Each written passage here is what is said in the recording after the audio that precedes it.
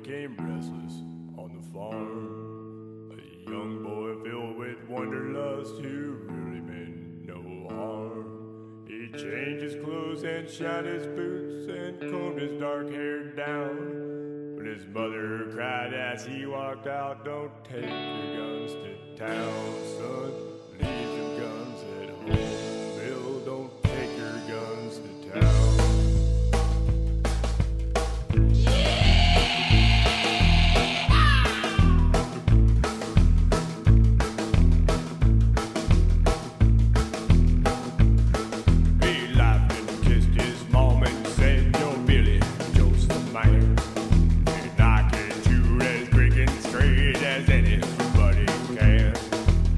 wouldn't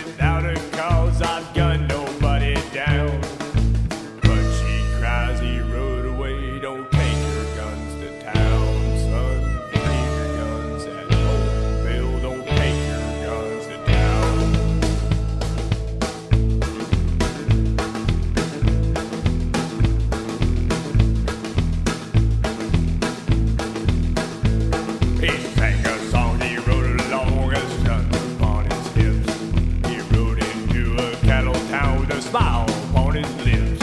He stopped and walked into a bar and laid his money down. But his mother's word echoed again, don't take your guns to town, son. Leave the guns at home, Bill, don't take your guns to town.